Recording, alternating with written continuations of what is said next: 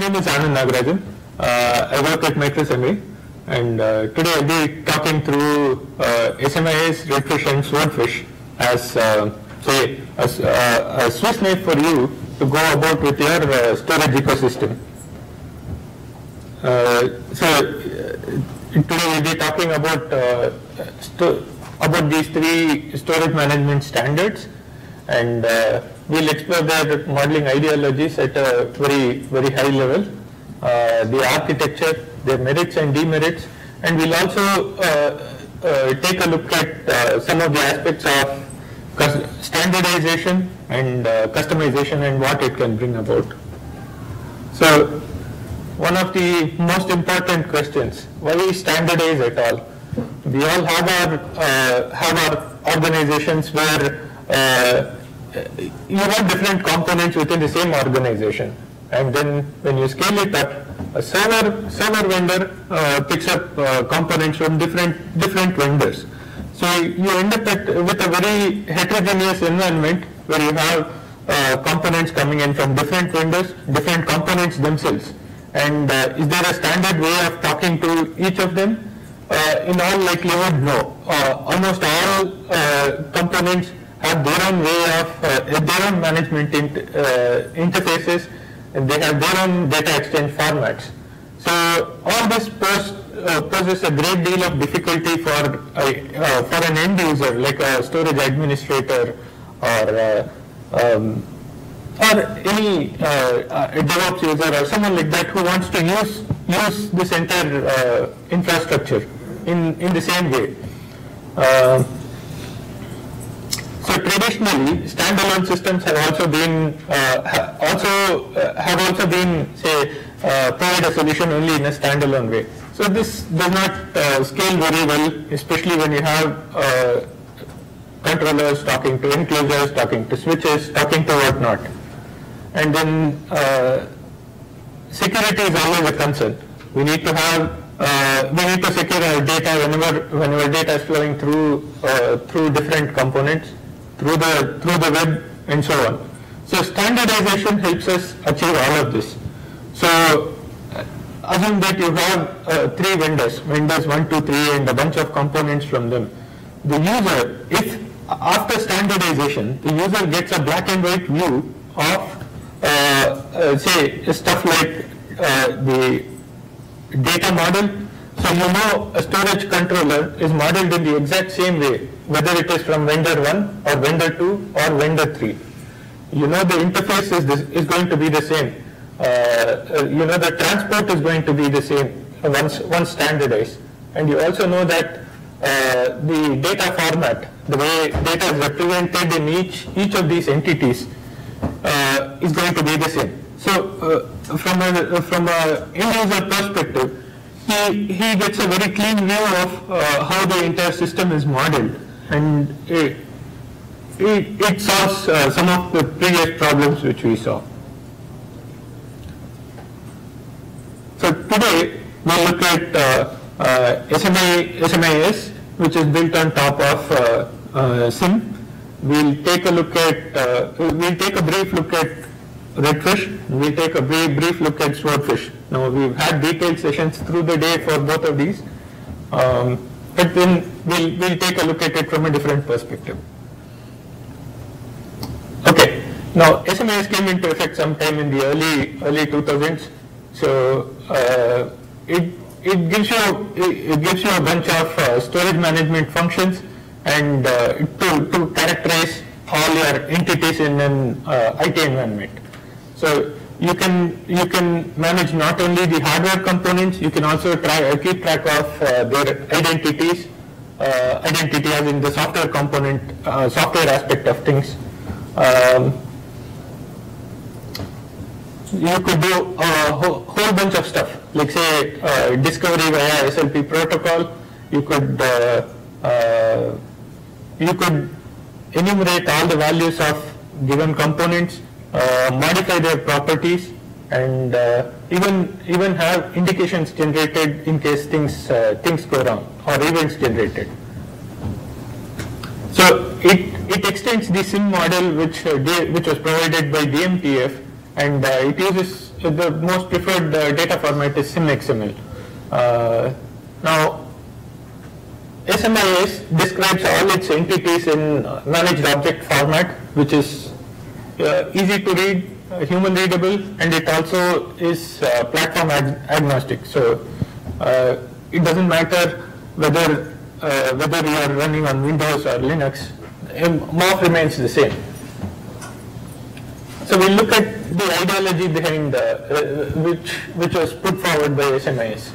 So everything is a is an object. Everything is modeled modeled in the uh, object-oriented model. So whether it is a uh, host computer system or a storage pool or a volume or a redundancy set, all of them are objects. Uh, even associations or relationships between these these complex entities are also managed uh, are also modeled as classes. So all of them are derived from uh, managed element, which is like a super abstract class, um, with each level of class providing its own uh, its own specialization. Now users can extend uh, some of these classes by uh, picking uh, picking a um, uh, by picking a CIM CIM of which uh, best describes their component and extend it by uh, creating a specialized class out of it. Um, some of the operations which which can be performed are you can enumerate instances of a given class. You can modify each of those. Uh, you can choose to modify each of those instances you can perform operations on it uh, in both intrinsic and extrinsic ways, and you can you can also delete those instances. So it gives you the entire. This is similar to the CRUD thing anyway. You can perform all those operations here. So in terms of architecture, this is this this is a simple representation of how a, uh, how an OEM storage pool would look. So a storage pool is like the, uh, is like one of the most common uh, elements in a storage system. So you have uh, you have CIM storage pool which is defined by SNIA, and then you could uh, uh, you could inherit from CIM storage pool, add extra set of parameters which which you need based on your business need, and then arrive at the OEM storage pool. So as with everything, it comes with its, its own set of advantages and disadvantages. So CIM's been around for a really long time and a lot of work has gone in, uh, gone into SMIS as, as such. Uh, so it's a, it's a very evolved and a, a stable standard. Um, now, VMware, as I, as I know, uh, prefers all manageability of its uh, of its components uh, on on the host only through uh, through the SMIS interface. So you it, it is it is one of the preferred standards in virtualization so far. You have you have excellent client support in almost all uh, frequently used programming languages. Uh, we had a session on PyWBEM this morning uh, which is the latest. You you you you have the SBLIM client. Uh, you have a lot of libraries uh, to talk to. The the chief advantage with SMIS is so when you when you get a, a controller computer system uh, modeled, it doesn't matter if it's uh, provided by vendor A or vendor B. Each of them are provided in the same way. So when, when a client looks at it, a client has just one view of what a controller computer system is. So all of this uh, put in makes makes the entire uh, uh, SMIS provider or the product to be really robust, and you you naturally get all the uh, security features of uh, say authentication which which CIM provides. Now, disadvantages. Uh, now, what I showed you was a simple example. Uh, you have you can have multiple levels of uh, inheritance and a lot of association classes. So when you have elements like uh, primordial storage pool, concrete storage pool, volume, redundancy set, disk drive, and uh, controller computer set. All of these have uh, relationships between them, and these are all these are uh, expressed as associations. So in, in a large large system, the number of classes and number of associations can be really overwhelming, and it, uh, soon your model tends to look like a web. Maybe that's why it's called web. I don't know. Okay, and um, the data exchange format is uh, XML. On one hand, XML is widely used everywhere. On the other hand, XML will still need parsing. It's just a, data interchange format. You do not have, it needs to be parsed uh, to extract each property and its value. And one of the biggest uh, challenges with SMIS is a high, high learning curve. So for a client to, uh, to use SMIS, there was a certain degree of knowledge which the client needed to have of SMIS to even use it. So that was, that was a downside. Okay, next we move on to Redfish. So uh, Redfish came in around uh, the around three years back, two to three years back. Um, it provides a it provides a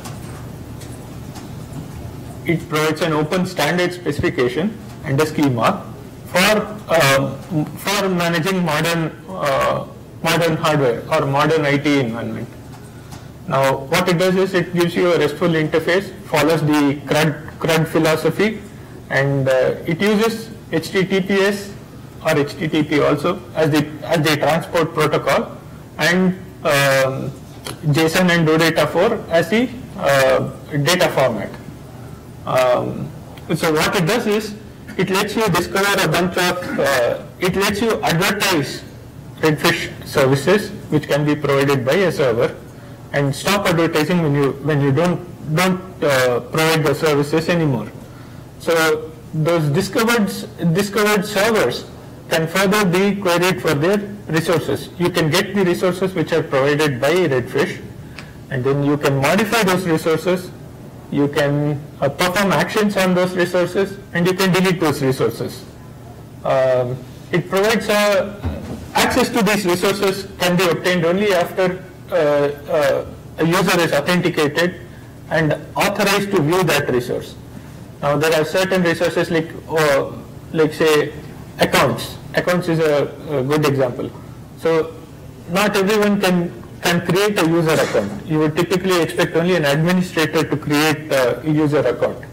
But then you could you could have a simple operator uh, to go and uh, monitor the monitor things like the storage system, uh, the the status of the system as a whole. So you have you have authorization also in place. Uh, as with as with the complex system, uh, whenever something goes wrong or whenever something happens of interest, uh, you would like to be notified with with events. So uh, there is a robust event uh, event eventing mechanism available, and there's also a method to handle uh, long-running asynchronous tasks. So if you issue a long uh, long-running task, you can get notified notified with task progress and then be notified once the task completes. So what is the ideology with Redfish?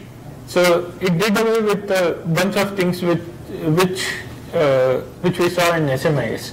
So so it did away with inheritance, it did away with polymorphism, uh, and it started treating uh, treating resources as flat resources rather than contained one being embedded into another or uh, one derived from the other. So so you had one, you have, you basically have one uh, service entry point, which is Redfish V1, and then all your resources are can be accessed through this. Now there are two major resource types. One is a simple resource, and then a collection of homogeneous resources, which is a resource which is also called a collection, resource collection. Now you can look, you can look at you can categorize a resource in three major uh, major ways. A, one, something which looks like a box, uh, which is uh, a steel box, so to say. So anything which is like a steel box goes into goes into chassis. So, uh, and anything which has, uh, which is in the data path or where you have IOs running, typically goes into the logical path uh, and is categorized under systems. And anything used to manage some of these, uh, some of these other resources falls under the uh, manager, uh, manager resource. Uh, one of the other uh, design tenet which was used was to reduce network traffic. So it's like, imagine all the people in this room, if we had to travel from, from source to destination and all of us took out, took out our own cars to go there. So that, that would lead to a lot of road traffic. Now this can be avoided if you bundle all of us into one, put all of us in a, in a single bus and then send the bus from source to destination. So that's typically what was happening earlier. So each time you want a resource, if you if you keep querying for it, you you are uh, you are basically overloading the network traffic, which can be avoided if you if you leverage the horizontal scalability of HTTPS. Bundle more data into uh, one single request response uh, packet and then you can reduce network traffic. So long story short, we've seen a lot of this. So events go under uh, uh, event service, event uh, subscription, delivery, all that is managed by event service. Uh, task, uh, tasks go under task service. So you can have task monitor and uh, the actual tasks which can be provided. Then you have accounts and roles which go into account service. So session service takes care of establishing a, a, a valid session for an authenticated user, uh, which can be used through the lifetime. Uh, all the management part of it goes into managers. All physical entities go under chassis and all uh, logical entities go under systems. So what are the advantages and disadvantages of Redfish? A, uh, it provides out-of-band management through MCTP. It also provides in-band management. If you if you would like to use the host interface, uh, you can use it through your device driver. Uh, the JSON OData format is very useful if you want to directly access the response and then access one particular attribute within it. Uh, it also helps you categorize uh, the response that you get you can treat uh, uh, simple objects, arrays, and uh, complex JSON objects in a different way. So it, it makes parsing that much easier. so do would clients have to care uh, whether they are talking in band or out of band? Uh, no, the answer is no. Because as long as you are talking, you are issuing an HTTP request, you don't really don't really care how the response is being uh, satisfied as long as it conforms to the data format specified. Uh, the, the data representation also adopted has been more client centric. So you don't have room for assumptions. Like say uh, there are I see a lot of implementations earlier OEM implementation where you would say you would have a field called size. So and which would return a number. Now, it's up to the user to assume what that size means. Is it in bytes? Is it in KBs? Is it in MBs? Nobody knows. One of the things which, uh, uh, which has been adopted here is a naming convention. So you have, you typically have something like size in bytes or capacity in bytes. So the following number will just indicate, uh, it makes for very easy client programming. So you can just take it and display it for all you know. The schema is very well defined for uh, categorizing uh, servers. Uh, it has excellent OEM extensions. Uh, uh, so if you feel that uh, the schema can be, you need more detail to characterize your resource, you can do it via the OEM extension, and not just for properties, for actions as well. So the, the disadvantage with Redfish, and I ran, in, I ran into this issue very soon uh, I had a, a, we have two families of controllers, one with array, one without an array. So I, I had this challenge of putting uh, modeling an array in Redfish when it started off, and there was just no way of doing it. Uh, so I had to find a workaround to do it. Uh, so storage management in its simplest form needs needs better handling, needed better handling, and uh, Redfish as such is a is a pretty new standard. It needs uh, it needs better adoption and uh, more contribution from from a lot of folks, and then yeah. So we needed more help with the storage storage management uh, aspect of things. So that's where Swordfish comes in. Uh, it helps provide a single view of storage, uh, be it traditional or hyperscale or hyperconverged storage. It extends the DMTF uh, specification. Uh, it leverages basically all the other services like account, event, task, whatever we saw, uh, which Redfish provides and builds on top of it. The most important thing is this. Uh, it provides, it simplifies the way uh, storage can be allocated. So we saw in, in, the detail that uh, user does not have to know where uh, where the storage is getting allocated from, which storage pool it is getting allocated from. As long as you specify what class of storage you need, it gets allocated and the user can use it. So some of the design tenets are ideology. Extend whatever, leverage and extend whatever has already been invent, invented by Redfish. Uh, SMIS was a very comprehensive model. So all whatever was uh, whatever whatever is available in SMIS can be can be simplified and refactored uh, into a more client-centric model. So, so that's that's partially that's what we've been uh, we've we've actually achieved through class of service based uh, storage provisioning.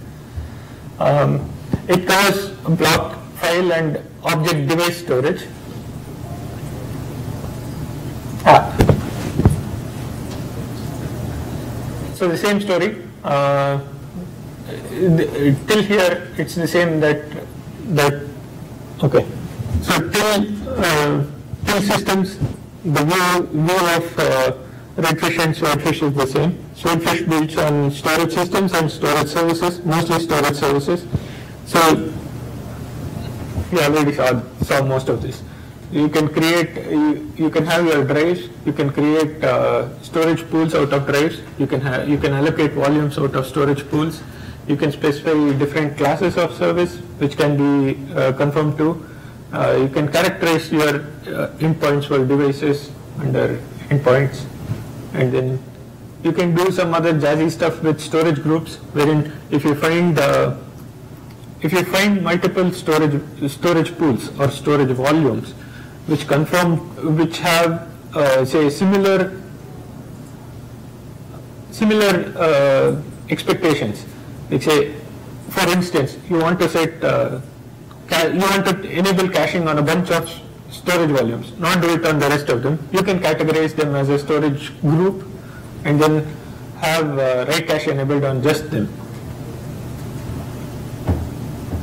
So what are the advantages and disadvantages?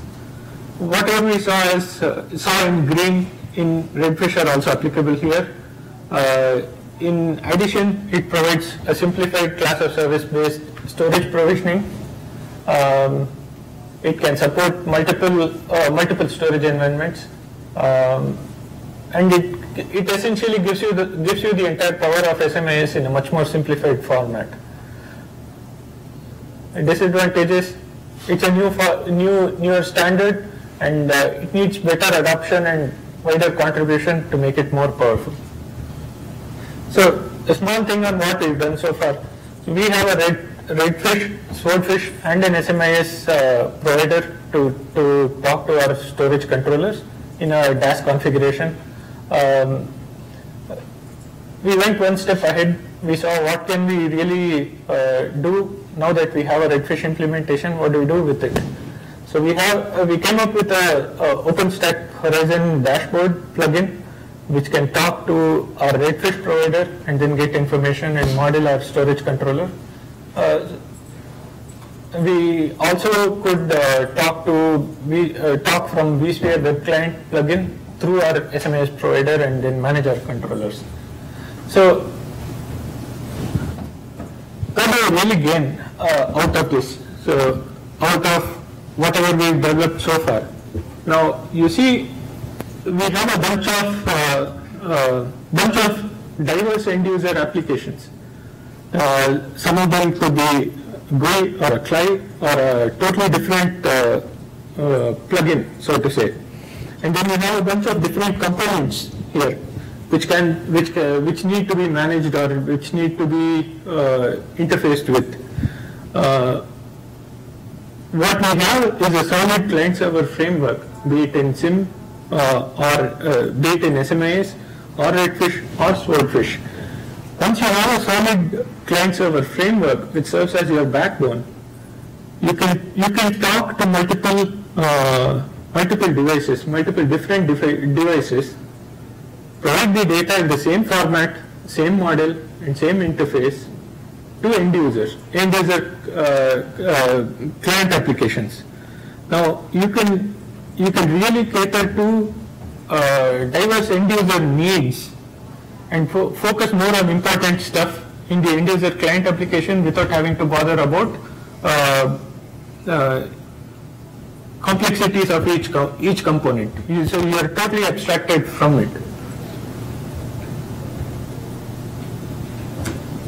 So if you do have a if you if you do have a system that you want to model or uh, if you have an OEM system and you are wondering how to how to migrate it to a newer standard, so this can this can serve as a, a stepping stone for for things.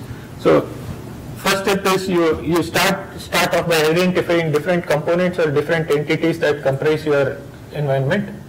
You look at the look at their individual attributes and you look at all the all the operations that can be done on them. Uh, you look at interactions between different uh, different entities in in your system and uh, look at their persistent persistence needs. Once you do this, extend your components to, to cover all your business needs. Uh, then you move ahead, you choose uh, choose which standard you want to adopt because uh, the earlier you make this choice, the the, the better it is. Uh, you choose which standard you want to do you want to support, be it uh, SMIS or Redfish or Swordfish. Then you choose your web server based on your business needs and where, where the web server would probably run. Um, in case of in case of SMIS, you would also have to choose your CIMOM based on different uh, uh, operating environment. Then you create your schema, which defines your defines every entity, uh, every entity. Uh, you compose different elements when when applicable, and you uh, provide associations to uh, related entities when when you do not categorize them as composed elements, but rather as related elements. So once you're done with all this, choose your programming language that you want, and then go ahead implement your software suite. And voila, we have a system. So I wanted to leave you guys with some food for thought. We spoke a lot of a lot about uh, standardization. Now, what can it uh, what can it really result in?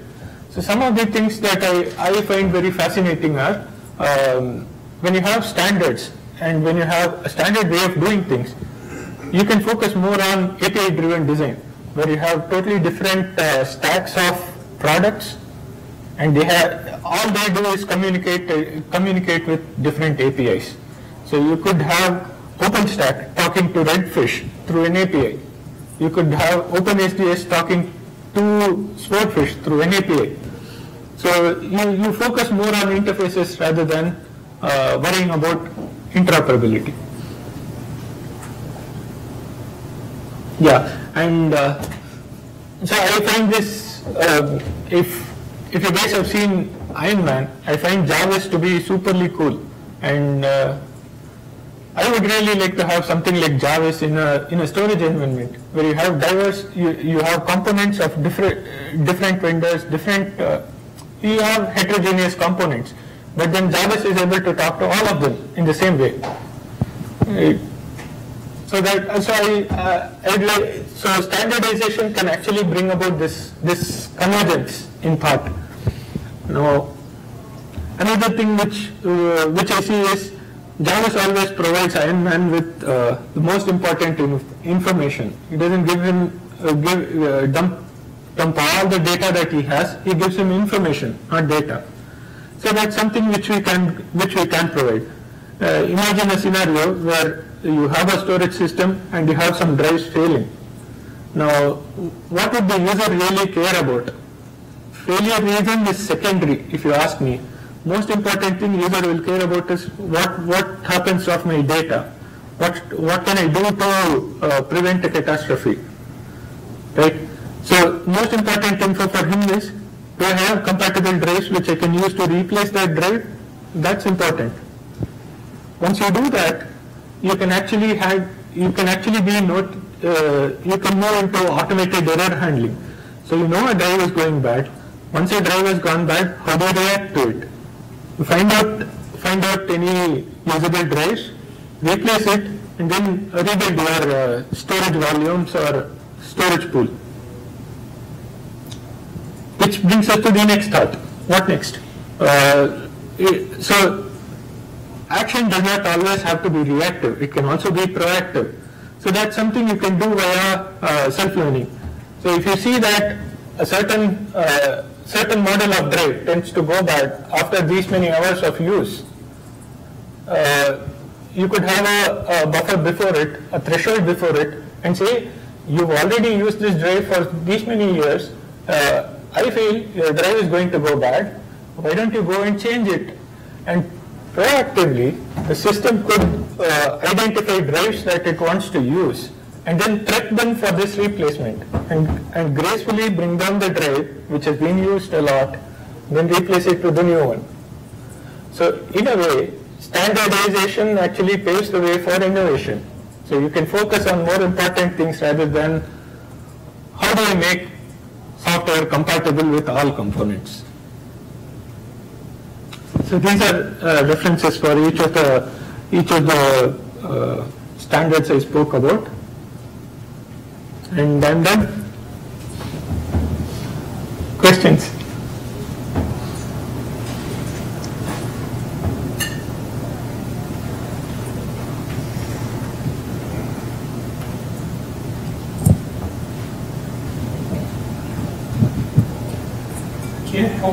Wonder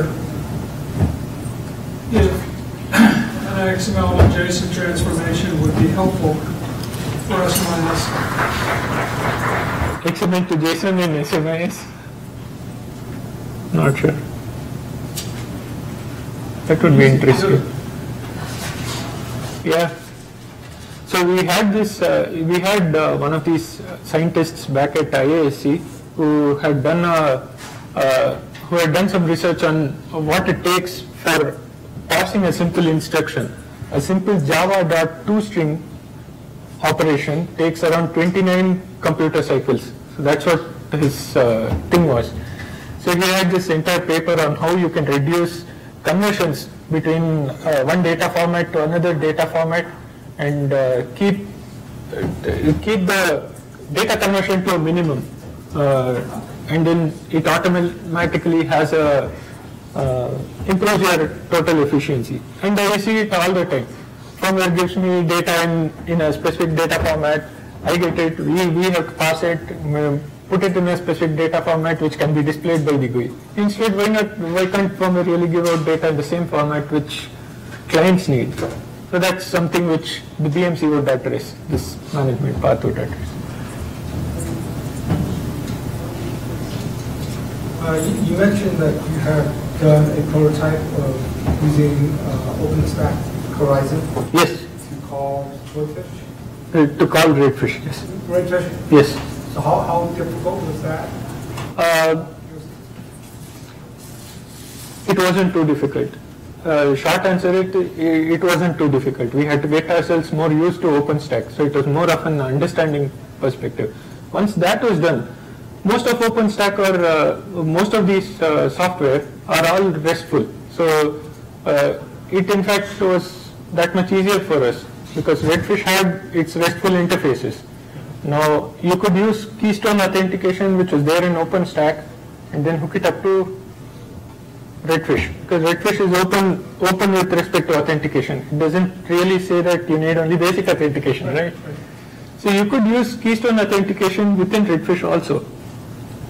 But you didn't do that. No.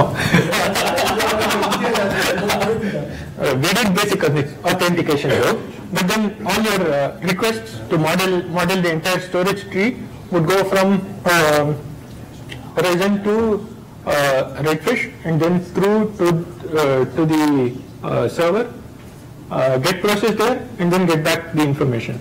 And we actually made made use of uh, OData constructs a lot to to form the tree. Uh, Because your response is just a response, right? How do you, how do you really know the type of uh, entity? How do you know uh, how you have to deal with it? So the metadata was very useful in, in that regard. Okay, so with, with that development, was that done as part of the OpenStack uh, project slash recipe? Uh, Just done outside? no, it was a, it was a POC. Okay. And so is there any intention of uh, releasing that code anywhere? Or is that to say, No, we could, we could, we have to, we have to evaluate that possibility. We actually wanted to open source that client, but then we really need to see if, uh, okay, see things, yeah. yes, Yes. Uh, For existing uh, storage management products that are widely used, like EMC Control Center or IBM TPC, Uh-huh. which is now called Spectrum Control, how difficult is it, what are the steps involved to bring that up to the new standard? Those relied on uh, SMIS. So if you already have a working product, you're halfway there, because you already know your components, you know all interactions between that. So to model it within this is not going to take you any time, and that's, that's where you would spend most of your time in. So rest of the thing is easy, web server and communication, routing, routing requests is all easy. Model is what takes most time. So if you have a working, working system, uh, a proprietary system, so to say, you already know all, all your attributes. You have to find which, uh, what makes most sense in the, so if you have size, if you have, cap- you do have capacity sources and capacity in bytes, which is already there in the standard. So you take the size, convert it to uh, the, the, uh, the units which are already present here, put it in, and it's easy.